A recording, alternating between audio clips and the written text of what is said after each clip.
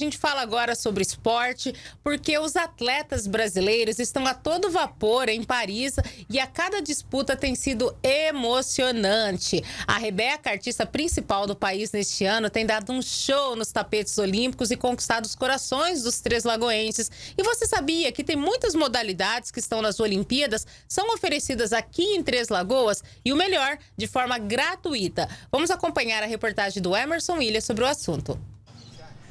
Desde quando começaram os Jogos Olímpicos, Alexandre tem vibrado com os atletas brasileiros que estão na competição. Mas ele, assim como qualquer torcedor, tem uma modalidade preferida. Eu tenho acompanhado o surf, né? Que acho que todo mundo viu aquela, aquele, aquela foto incrível que teve do Medina competindo. Eu acho muito incrível, né? Porque é um esporte aqui em Três Lagoas que a gente não tem. E é um negócio que é muito bacana, né? E o desempenho do Brasil tá excelente, tá top. Trazendo medalha pra gente é o que importa. Quando você vê um desempenho assim como o Medina que você viu no surf, isso te dá. te faz sentir o quê? Ah, dá sentir orgulho da nossa nação, né? Três Lagoas, Brasil é tudo, né? É a gente tudo, em todos. E ele é fã mesmo não esconde a admiração pelo ídolo que tem sido destaque mundial. O Geraldo acompanhou a disputa da ginástica artística, na qual a Rebeca Andrade conquistou a prata. Ele conta que vibrou com a vitória da brasileira. Muito bom para nós, né? O Brasil ser representado lá fora. Precisa mais é apoio, né? O brasileiro, os nossos atletas não tem muito apoio, né? Então o governo, sei lá, uma entidade tem que dar mais apoio para os atletas, né? E a Rebeca não conquistou apenas o seu Geraldo. A maior medalhista olímpica do Brasil também é um dos motivos que tem feito Moisés ficar mais atento nos jogos deste ano. Está sendo perfeito demais. Eu estou amando acompanhar a, a Olimpíadas lá em Paris e tem que se ganhar o ouro, na verdade. O que você acha da Rebeca? Sendo referência hoje em dia na, no esporte e é, eu acho que ela vai trazer o ouro sim. Nesta sexta-feira, completa uma semana da abertura das Olimpíadas de Paris 2024, que começaram oficialmente em 26 de julho. 277 atletas representam o Brasil nestes Jogos Olímpicos. Até o momento, o Brasil já conquistou seis medalhas, três de bronze e três de prata. E todos nós estamos na expectativa de quebrar o recorde conquistado nos Jogos Olímpicos de Tóquio 2020. Lá, os atletas trouxeram 21 medalhas para o país. E essa emoção de torcer, vibrar e se emocionar com os atletas na disputa são sentimentos comuns de quem tem acompanhado por aqui, do outro lado do Oceano Atlântico, como explica a educadora física Jaqueline Marques.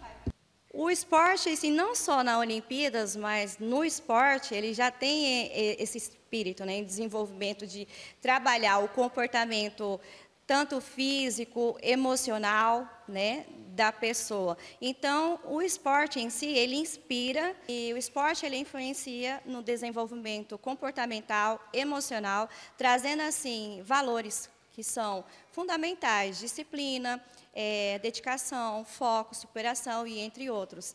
E é essencial também né, a superação e a possibilidade também de promover a inclusão social. Jaqueline acredita que o esporte ainda carece de investimentos e isso causa perdas essenciais na continuidade de grandes talentos e no desenvolvimento de quem quer se dedicar exclusivamente para as competições.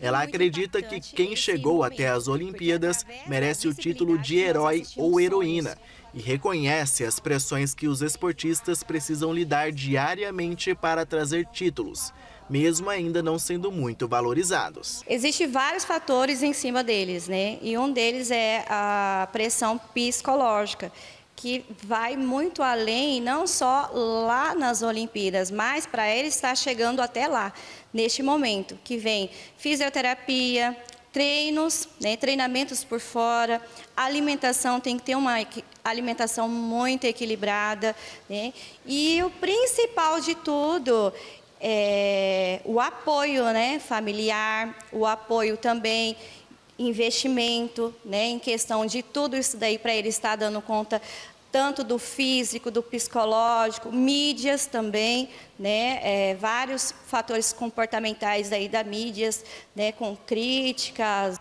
Ela que é uma grande torcedora do futebol feminino, tem um recado para o time liderado pela capitã Marta. Tô na torcida, hein? Bora lá, Brasil, vamos para cima, que essa medalha é nossa, hein? Bora. Neste ano, são 32 esportes olímpicos disputados em Paris. Destes, 10 estão disponíveis de forma gratuita para os treinos semanais, através da Secretaria de Esporte, Juventude e Lazer de Três Lagoas. São eles o atletismo, badminton, basquete, futebol, handball, judô, natação, tênis de mesa, vôlei e vôlei de praia. As inscrições são feitas diretamente no ginásio Cacilda Acre Rocha. Basta consultar a disponibilidade de vaga e faixa etária definida para cada modalidade. Os atletas têm a oportunidade de disputar campeonatos regionais, estaduais e nacionais. Quem sabe o próximo talento mundial está aqui em Três Lagoas. Já temos representantes em Paris. A árbitra Daiane Muniz está levando o nome de Três Lagoas para o mundo.